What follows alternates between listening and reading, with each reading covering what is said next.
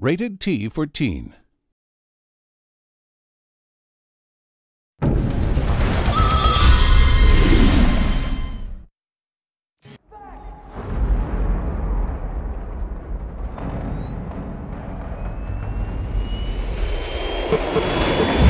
Hello, my name is Martin Walfisz and I'm the founder and president of Massive Entertainment. We're currently working on a game that we believe will change the RTS genre forever. The game is called World in Conflict. Today I'd like to show you our ground deformation system and also reveal what we have achieved with DX10. World in Conflict is of course the best looking game ever, well at least we think so. But let me say that we're still working on the final touches and my team has an attention to detail that I think is second to none. You haven't seen everything yet and here's what I'm talking about. For a long time we said that we wouldn't have ground deformation in World in Conflict, but with our focus on realistic destruction and intensity, we eventually decided that we simply had to add some real damage to Mother Earth. Here's an artillery barrage raining down from the sky on some poor units. Notice how the ground takes just as much damage as everything else. The tanks that follow will now have to drive down into the crater and then up again on the other side. All units are affected in the same way of course, and there is no limit to how much deformation you can add in the game. It looks pretty awesome, but this is not just a graphical feature. In World in Conflict, line of sight is an important tactical aspect, and good players will know how to use this to their advantage. When units move through deformed terrain, it has a direct impact on their line of sight.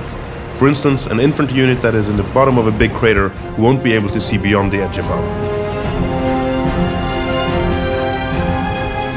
Okay, so now let's take a quick look at our DX10 specific additions to the game. We have been working with NVIDIA to add something special to the players that have a DX10 graphics card installed. The first thing I will show you is for real connoisseurs.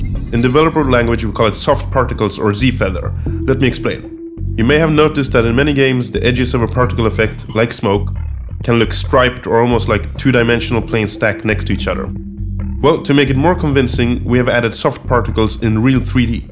It means that all particle effects like smoke, explosions, fire, debris and so on actually exist in the world. In combination with our particle physics, the smoke actually behaves like a real 3D object that will react to the world and units exactly as it would in real life.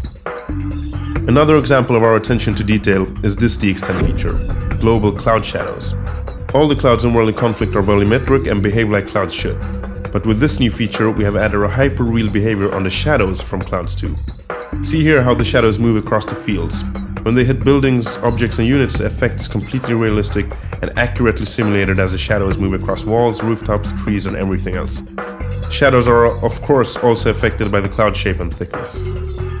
See those rays of sunlight that shine down on the landscape below? That type of effect is sometimes called God rays, and we really wanted to add that effect to the game. It turned out that it's pretty hard to do if you want the effect to react to the world in a realistic manner, but here it is, our very own light from above. It's a very beautiful effect that allows our map creators to make World in Conflict just perfect. Okay, finally, another really cool DX10 feature. A lot of people who have played World in Conflict have come to realize exactly how useful our mega map is. The mega map is available to all players on all systems, and as you see here, it is a satellite view of the battlefield with live updates and accurate rendering of units, field of view and explosions. You can even play the game in this view if you like. But what if you could have the mega map available at all times? Well, that is precisely what DX10 users can do. Check it out. Our dual screen solution allows players to have their mega map on one monitor while playing the game on the other. Okay, that's it for World in Conflict and me today. Get ready for the most intense strategy game ever created, coming this fall. Massive signing out.